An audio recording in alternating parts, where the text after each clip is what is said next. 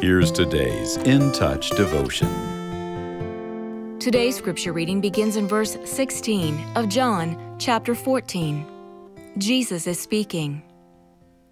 I will ask the Father, and he will give you another helper, that he may be with you forever.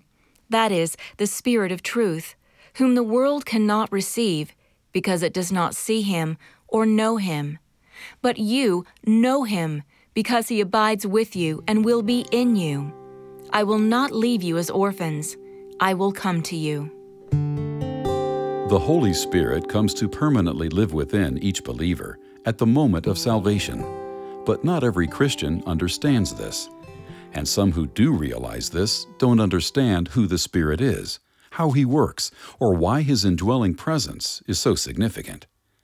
The Holy Spirit is a person, not simply a power or force, and he, along with the other two members of the Trinity, was involved in creation. We know this because when God created mankind, he said, Let us make man in our image, according to our likeness. The plural pronouns in this passage refer to God the Father, God the Son, and God the Spirit.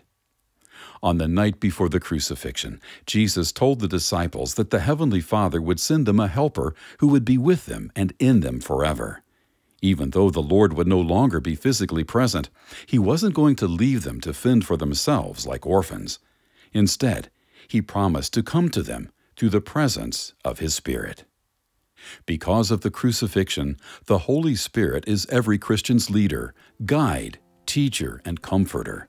His presence in us means that we are God's children and that God has upheld His promise to always be with us.